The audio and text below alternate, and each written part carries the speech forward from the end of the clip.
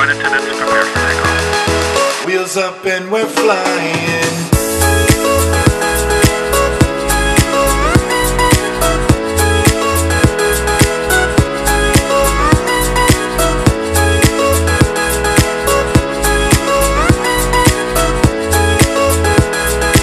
Wheels up and we're flying. Hey, so welcome back to another adventure from Traveling Jumpseaters. As always, I'm Marcus, also known as TJS1. And today, with my little sidekick in the back, Isaiah, my son, we're going to be doing a Boys' Day Out! Yes! So all the girls had prior engagements, and so that leaves me and Isaiah to go out and hang out today. So we're going to show you what we do when we hang out. So this is going to be the first of many little series on Friday where I will take my little son out and we'll go do things.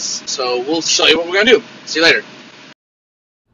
All right, so here we are on our first stop and boys' day out. Of course, it starts with Starbucks. Gotta have the pumpkin cream cold brew. God, I love this season. Can't believe it's back already.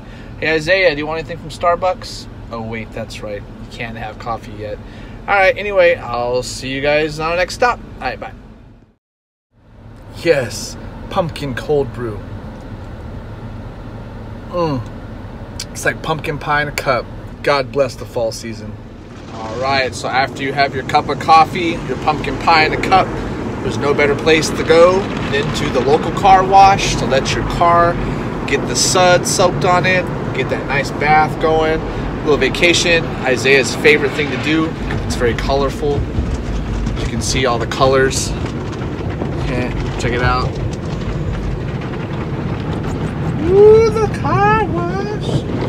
Yes. After the car wash, we head out to the next stop. Great day.